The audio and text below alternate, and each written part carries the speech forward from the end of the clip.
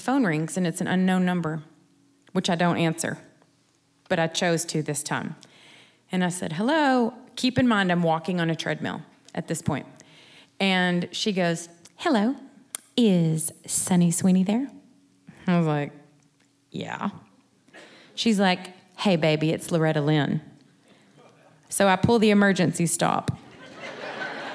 now, I don't know what you people know about emergency stops on a treadmill.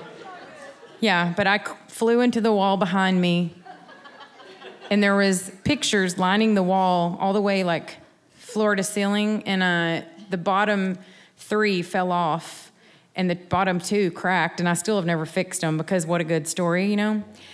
And also, I'm a cheapskate. So, um, anyway, so I was like, "Oh, hey, girl, how's it going?" She's like, "Hey, I just wanted to say thank you for filling in for me," which is the reason that I love country music because people are just so real.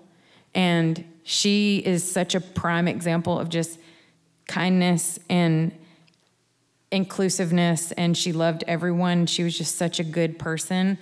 Anyway, and so I just said, No, I mean, the pleasure was mine. I'm just glad you broke your knee.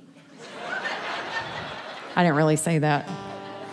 My mom would have beat me if I would have said that. But anyway, so I'm getting off the phone and I just said, you know, is there any anything that I could, you know, get you to tell me some advice? I mean, anything? She's like, yeah. She's like, you write songs, baby? I said, uh, yes, ma'am.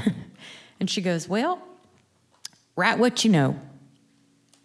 And I, I sat there and I was like, and? and she goes, I said, write what you know, baby, write what you know.